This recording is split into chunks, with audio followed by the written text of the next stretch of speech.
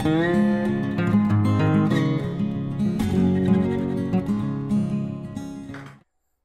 guys, this is Seth from the Mast Store Knife Shop, and today we have some beautiful R.L. Scott knives we're going to talk a little bit about. Um, R.L. Scotts are made in Boone, North Carolina, only about 20 minutes from the actual knife shop, and they are beautiful works of art. Even the even the leathers handmade by him. Um, I'll wait till you see the actual knives. This is called the Compadre model, with a beautiful sunset Damascus um, blade which the uh, Damascus is also made locally by Baker Forge. They make the uh, the raw billet, and RL does the rest of it. These feature, if you can see the detail, these feature a Gomai Damascus, which means five layers. If you look at both sides, you've got five layers of different steel, uh, featuring an 80 CRV2 base layer, either copper or bronze as the uh, middle layer, which creates the sunset. And then you have a Damascus on the outer layer. So you've got one, two, three, and then four or five. So you've got five layers of beautiful Damascus. This particular one has a stag and a uh, bubinga wood for the handle. And you can even see all the layers going down, right down the spine if you can see that detail.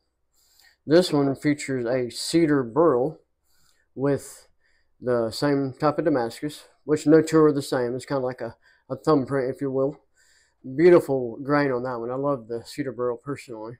And again, you can see that the five layers. Now, if you know anything about the steels, uh, he uses the 80 CRV2 as a base layer because that is a extremely tough steel. I don't know if y'all know about Winkler knives. That's the same exact steel they use on their their military blades, if you will. Um, I'll show you some specs on that particular steel. If you look now on edge retention, it, ranks, you know, pretty average. But that way, it's easy to sharpen. It's not so hard you can't get a quick edge on. Now, if you look at the toughness, right here, it is extremely tough. It's hard to break or chip this steel. And it is not stainless, obviously. So you need to take care of it. Same with the Damascus, which actually the Damascus is 80 CRV2 as well.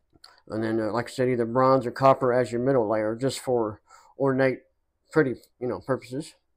Um, but they're a great uh, hunting skinning knife. A lot of people will just simply collect it, put it in their safe, or show it to their friends. Personally, I'm more of a collector, so I would put that up and you know look at it, show it off.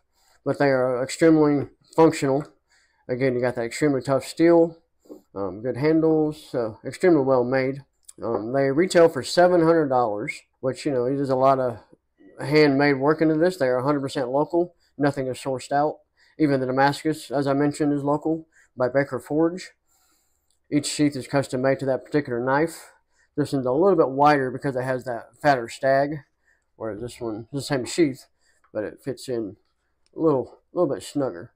You've got a nice clip for your belt, or even he designed it for inside your pocket. Even we can you can clip this to the outside of your pocket, um, kind of like an Ulticlip. I'm sure y'all all have heard of Ulticlips. Um, you can probably also make a custom sheath if you ever need one with a more traditional belt loop. Alright, well thank you all for watching. Please um, comment if you have any questions about it. If you like it, hit our like button. Now these are only available in store. Uh, they do have limited quantities, so um, hopefully you can come by and see them in person, but if not, give us a call. But yeah, make sure you comment on them and uh, subscribe, and thank you all for watching.